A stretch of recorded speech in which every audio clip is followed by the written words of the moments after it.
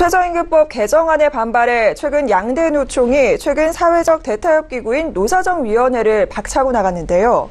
오늘 문성현 노사정 위원장이 노총에 당근책을 제시하며 대화의장으로 들어올 것을 촉구했지만 노동계는 물론 경영계도 떨떠름한 반응입니다. 고현정 기자의 보도입니다. 문성현 경제사회발전 노사정위원회 위원장이 오늘 기자회견을 열고 집을 나간 노동계를 향해 사회적 대화기구로 돌아오라고 촉구했습니다. 개정된 최저임금법이 저임금 노동자들에게 미치는 영향을 우려하는 노동계의 진정성을 모르는 바가 아닙니다.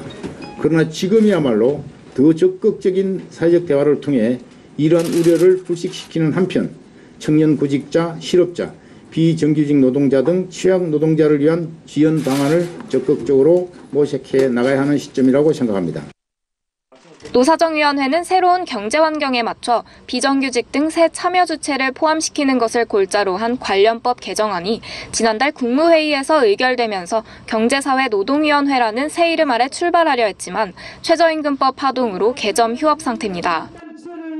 이를 타개하기 위해 문 위원장은 이날 근로장려세제 개선을 통한 사회 안전망의 강화, 통상임금 산입 범위 확대 등 임금 제도의 개선 등을 언급하며 설득에 나섰으나 노동계는 물론 경영계도 반발했습니다.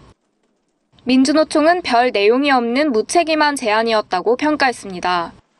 사회적 대화 원칙에는 공감하지만 현재 최대 쟁점 사안인 최저임금 개정안에 대한 입장 표명이 없었다는 점을 지적했습니다.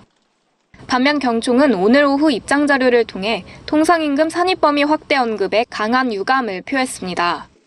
노사가 사업장 환경에 맞춰 자율적으로 임금 체계 개선을 해나가면서 겨우 안정되고 있다며 이 같은 상황에서 또다시 통상임금 문제를 논의하는 것은 산업 현장의 혼란만 가중시킬 뿐이라는 취지입니다.